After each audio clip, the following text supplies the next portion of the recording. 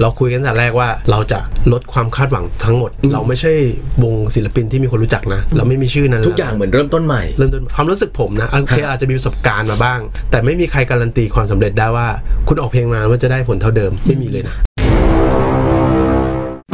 มันเดย์มันดี เอกกี้อ้อม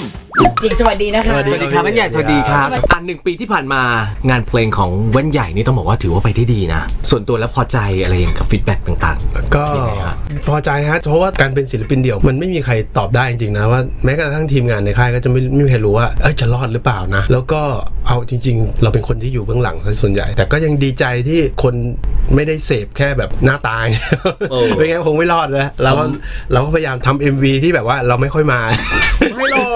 กก็สมัยนี้เขาดูที่แบบความสามารถ ระหว่างทางอะมีหลาย ๆ ครั้งที่มีคนถามอะไม่เหนื่อยเหรอ เพราะเราเราอยู่ข้างหลังเนี่ยบางทีเราก็จะไม่ค่อยได้รับเครดิตมากครับถ้าไม่มีใครเห็นเนี่ยหรือว่ามีชื่อเนี่ยเขาก็จะไม่ไม่มีค่อยมีใครมานั่งอ่านว่าเครดิต เพลงนี้ใครเขียน เมื่อก่อนมีนะใช่ตอนนั้นเราเด็กอะใช่ใช่ใช่พวกเราเพราะตอนเด็กๆเราเราจะนั่งอ่านเปิดเทปเฮ้ยเพลงนี้ใครแล้วเราแต่งรู้สึกว่าบางทีอะเป็นคีย์สำคัญเลยแต่นะเดี๋ยวนี้ที่ทำให้เพลงมันออกมาได้เนี่ย เรานี่อยากเจอคนเขียนเลยใช่นะใช่แต่ว่าในสมัยเนี้ยมันคือเราเข้าถึงเครดิตตรงนั้นได้ได้ง่ายนะ แต่เหมือนกับว่ามันมองข้ามไป สมมติในฐานะของผู้ที่อยู่เบื้องหลัง อยากบอกอะไรสำหรับผู้บริโภค คนทำอะเขาภูมิใจอยู่แล้วแหละ แต่แค่ว่ามันอาจจะเป็นเพราะว่าในระบบหลาย ๆ อย่างมันไม่ได้รองรับเอาง่ายๆนักอาชีพนักแต่งเพลงมันจะเริ่มหายลงไปเรื่อย ๆ เพราะว่าเรื่องของผลประโยชน์ที่อืมอาจจะไม่ได้แบบตอบแทนในขณะครับที่แบบพอเพลงดังปุ๊บศิลปินสบายละแต่ว่า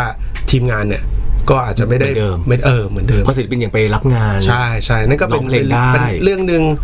ที่ที่อาจจะมีผลต่อจิตใจคนทำงาน แต่ว่าอีกเรื่องหนึ่งก็คือการไม่ได้รับความสำคัญเนี่ยอันนั้นเป็นสิ่งที่คือจะไปโทษคนฟังไม่ได้หรอกคนฟังไม่รู้หรอก แต่ว่ามันเป็นช่องว่างที่ผมรู้สึกว่ามันจะทำให้คนทำงานเบื้องหลังน้อยลงเรื่อย ทีนี้มาถึงเรื่องของการเปลี่ยนแปลงครั้งใหญ่ในชีวิต จากวงที่ประสบความสำเร็จมากๆ จนมาเป็นศิลปินเดี่ยวอะ ๆ อันดับแรกคือสิ่งที่